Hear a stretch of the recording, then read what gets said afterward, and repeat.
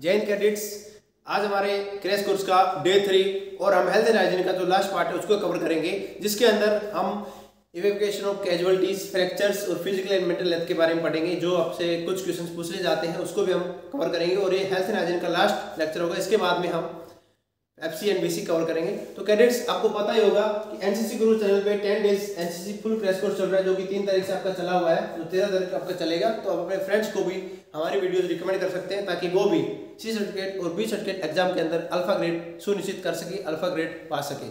तो कैडेट्स आज का सेशन शुरू करते हैं। सबसे पहले हमारे पास में आता है हेल्थ राइजिंग का पार्ट थ्री हम आज पढ़ेंगे।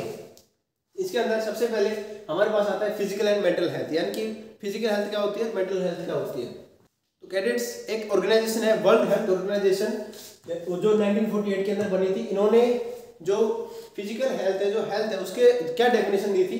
The complete state of physical mental and social wellbeing and not mainly the absence of disease और इन्फर्मिटी उसी को हम क्या बोलते हैं? एक कंप्लीट फिट बोलते हैं या पहले क्या मानते थे? एब्सेंस ऑफ़ डिज़ीज़ और इलनेस यानी कि किसी को बीमारी नहीं है, वो फिट है, वो फिजिकली फिट है, वो हेल्दी है। लेकिन डब्ल्यूएचओ ने क्या दिया? कंप्लीट फ़िज़िकल मेंटल सोशल जो complete set of the health उसी को क्या बोलते हैं? अपन हेल्दी बोलते हैं, जो इन्होंने डेफिनेशन दी है। यानी कि सिर्फ़ अपन डिज़ीज़ की जो अब्सेंस है जो इलनेस की एबसेंस है, उसी को अपन हेल्दी नहीं बता सकते। इनके अकॉर्डिंग जो हेल्थ वो क्या है?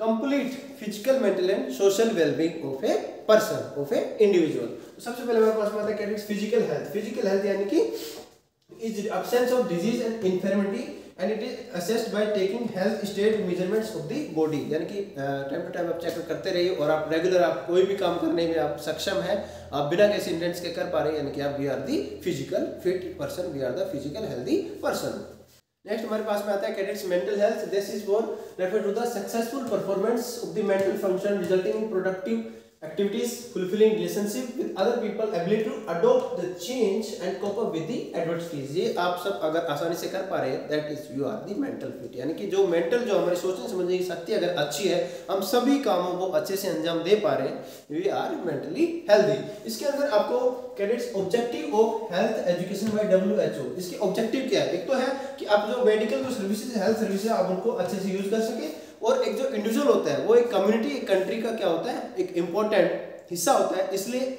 उसकी हेल्थ को इंश्योर करना हमारा दायित्व तो होना चाहिए, ये आपके ऑब्जेक्टिव है। नेक्स्ट हमारे पास में आता है candidates characteristics of the healthy mind अगर कोई इंसान हेल्दी है, वो हमें कैसे पता चलेगा? That will be normal appetite ठीक है? उसके बाद में काम होगा चेयरफुल आउटलुक होगा good temper socially acceptable habits well regulated instincts यानी कि वो अच्छा सोचेगा सभी के बारे में normal physical vitality receptivity to new idea and sex consciousness अगर ये सारी क्वालिटीज उसके अंदर है तो हम पता लगा सकते हैं कि वो इंसान हेल्दी है। Measures to secure mental health mental health को हम किस तरह से सिक्योर कर सकते हैं और मेंटल हेल्थ को किस तरह से इंश्योर कर सकते हैं? तो हैं favourable moment school environment regular medical examination provision of the educational and vocational guidance and then provision of the cocurricular activities जैसे आपके स्कूल एंड कॉलेज में जो को करिकुलर एक्टिविटीज़ होती है, उन सबकी मदद से हम इंसान को मेंटली फिट रख सकते हैं।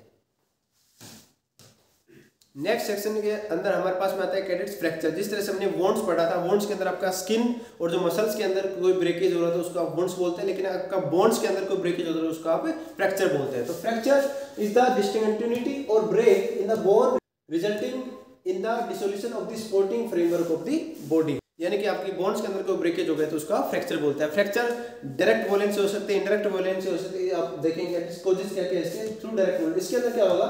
जहाँ पे आपको चोट लगी है, वहीं पे आपकी बोन ब्रेक हो जाएगी। इनडायरेक्ट वोलेंस में क्या होगा कैडेट्स जहाँ पे आपको बोन पे चोट लगी है, उससे थोड़ा दूर टूटे, उसका आपको डिस्टेंस प्लेस यानी कि जहाँ पे चोट लगी, उससे थोड़ा दूर टूट जाए तो आपका indirect violence through forcible muscular contraction कई बार क्या होता है, आपको बहुत ज़्यादा हैवी एक्सरसाइज वगैरह कुछ कर रहे हैं तो उससे मस्कुलर कॉन्ट्रैक्शन बहुत ज़्यादा हो जाता है या फिर कोई जर्क वगैरह लग जाए, उससे कैडेट्स क्या होता है आपका?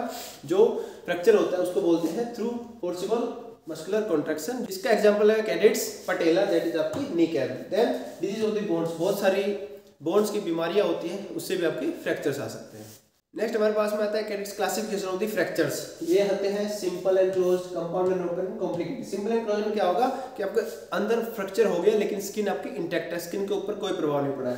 कंपाउंड और ओपन में क्या है कैडेट्स आपकी स्किन भी टूट जाए, उसको आप कंपाउंड बोलेंगे. साथ में हड्डी तो टूटी है स्किन भी फट जाए. नेक्स्ट आपका कॉम्प्लिकेटेड में क्या होगा यानी आपकी हड्डी भी टूट जाए, स्किन भी फट जाए और आपके जो इंटरनल ऑर्गन्स है, यानी कि जो ब्लड वेसल्स है नर्व लंग्स एक्सेट्रा इन सब में आपको प्रॉब्लम हो जाए तो अब बोलेंगे कॉम्प्लिकेटेड फ्रैक्चर नेक्स्ट हमारे पास में आता है सिम्टम्स एंड साइंस इससे क्या होता है, जब आपको फ्रैक्चर हो जाए, आपको मूवमेंट करने में प्रॉब्लम आ रही हो, आपको बहुत ज़्यादा पेन हो रहा हो, वहाँ पे रेडनेस हो रही है तो loss of the power abnormal mobility deformity and of bones grating sound due to the broken bones यानी कि आपको कट कट की आवाज़ आने लग जाए तो इससे आपको पता चल जाए कि आपका फ्रैक्चर हो गया है तो आपको नजदीकी हॉस्पिटल में जाके आपको डॉक्टर से प्रिस्क्राइब कर लेना चाहिए।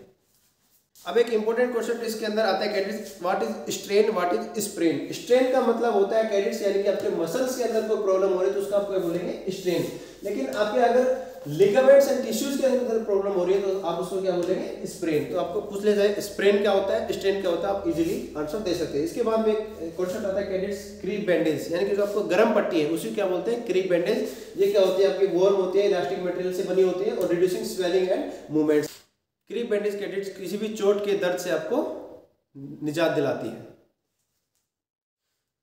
नेक्स्ट सेक्शन आता है हमारे पास में क्या कैडेट्स इवैक्यूएशन ऑफ़ कैजुअलिटीज यानी कि कोई भी नेचुरल क्लेमिटी हो जाए, जैसे फ्लड हो जाए अर्थक्वेक इत्यादि में क्या होता है?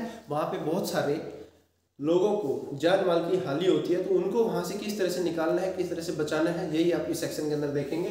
तो इसके अंदर जैसे natural calamities like earthquake cyclone tsunami इत्यादि फ्लड वगैरह आ जाए लैंड हो जाए, या फिर बहुत ज़्यादा जैसे स्नो स्लाइड्स हो जाए तो उसको आप कैजुअलिटीज जो होती है, उनको आप किस तरह से बचाएँगे? इस दौरान जो भी वॉलेंट्री ऑर्गेनाइजेशन जैसे साहब देखेंगे voluntary organisation red cross society या फिर आपका Saint John ambulance association home guards civil defence and NCC cadets जो जो आप पढ़ रहे हैं एनसीसी कैडेट्स का क्या रोल हो सकता है? उन सबको यहाँ पे मेडिकल ऑर्गेनाइजेशन के द्वारा इनको हेल्प के लिए बुलाया जाता है और जो कैजुअलिटीज होती है उनको जल्दी से जल्दी वहाँ से हटाया जाता है।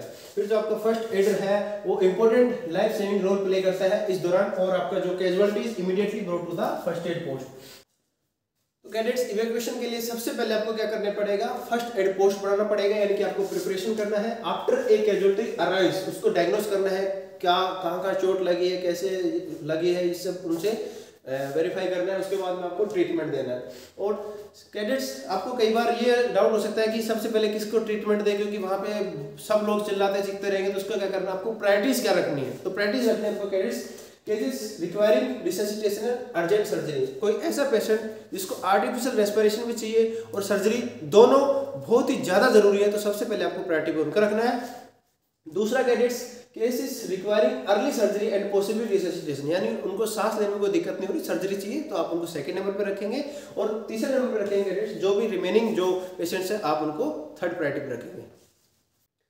देन कैडेट्स हमारे पास में पेशेंट आ गया, हमने प्रिपरेशन कर ली सारा, जो भी प्रिपरेशन के अंदर आप क्या कर सकते हैं, आसपास जो घर है, उनसे आप कपड़े वगैरह ला सकते हैं, कोई भी फ़र्स्ट एड किट वगैरह हो, वो इकट्ठी कर सकते हैं, और जो भी कैजुअलिटीज आ रही है, आप उनको मदद मुहैया करवा सकते हैं। आने के बाद में आपने आइडेंटिफाई कर लिया तो उनको ट्रीटमेंट क्या देना है? जैसी प्रॉब्लम वैसा उनको ट्रीटमेंट दे देंगे। जिस तरह से आपको उनको पूछना है कि भाई क्या प्रॉब्लम हुई है, ठीक है? और उसके बाद में जो क्राउड वगैरह, अगर वहाँ पे इकट्ठी हो रहा है, आप उनको रिमूव कर देंगे, ताकि पेशेंट को आप एक खुला माहौल दे सके, क्योंकि फ्रेश एयर जितनी वो लेगा, उतना ही उनका माइंड हेल्दी रहेगा और आप उनको रीएश्योर करते रहिए कि आपको कुछ नहीं होने देंगे और आपको जल्दी मेडिकल सर्विसेज़ दे करके आप हम आपको बचा लेंगे। नेक्स्ट आपका जो press the nearest pressure point आप उनको चेक कर सकते हैं, जिसके बाद में आपको बोन्स अगर ब्रेक हुई है तो आप उनको स्लिंग वगैरह लगा के उनको हेल्प प्रोवाइड करा सकते हैं। इसके बाद अगर एस्पेक्जिया हो तो आप उसको आर्टिफिशियल रेस्पायरेशन दे सकते हैं। कोई वुंड वगैरह तो उसका ड्रेसिंग वगैरह कर सकते हैं फ्रैक्चर वगैरह को आप ट्रीट कर सकते हैं।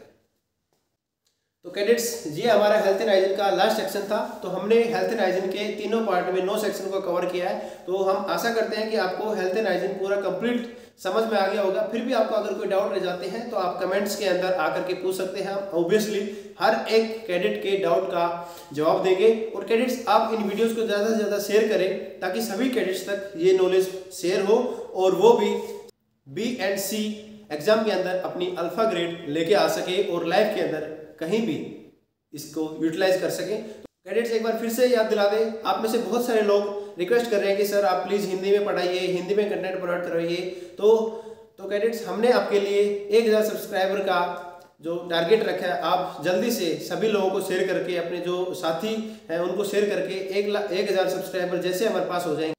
हम हिंदी के अंदर पैरल बैच चला देंगे। तो cadets all the best for your exam आप अच्छे से तैयारी करते रहिए और साथ में जो सब्जेक्टिव जो पार्ट है, आप उसको पढ़ते रहिए। हम भी नोट्स प्रोवाइड करवा रहे हैं, आप उनको पढ़ते रहिए और अच्छे से तैयारी कीजिए।